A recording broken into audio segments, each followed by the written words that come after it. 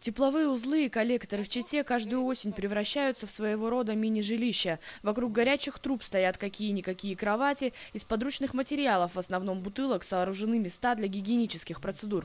Здесь живут лица без определенного места жительства, и такие условия их, кажется, вполне устраивают.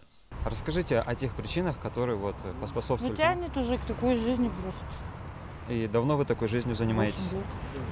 Сожалению, обитатели коллекторов зачастую являются причиной возникновения пожаров, в которых сами они и гибнут. Сотрудники МЧС каждую осень проводят рейды по таким местам и разъясняют бездомным правила поведения в их временных жилищах. Предупреждают о запрете применения открытого огня в колодцах из-за стесненного пространства. Достаточно одной-двух минут, чтобы дым заполнил коллектор и привел к гибели его обитателей. Но прислушиваются к спасателям далеко не всегда. распивают спиртные напитки, злоупотребляют ими, пользуются открытыми источниками огня, курят в нетрезвом состоянии.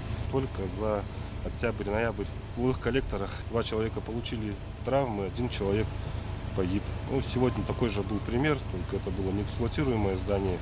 Человек в ночное время уснул в состоянии алкогольного опьянения, сигареты, получил ожоги в итоге лица и конечностей. Доставлен в городскую больницу. Сегодня рейд прошел в микрорайонах Каштак и Октябрьский. Мероприятия продолжатся. Если вы стали свидетелем проживания бездомных в помещениях, не предназначенных для жизни людей, сообщите об этом в полицию или на телефон доверия Главного управления МЧС России по Забайкальскому краю 35 61 61. Полина Харченко при содействии пресс-службы МЧС России по Забайкальскому краю.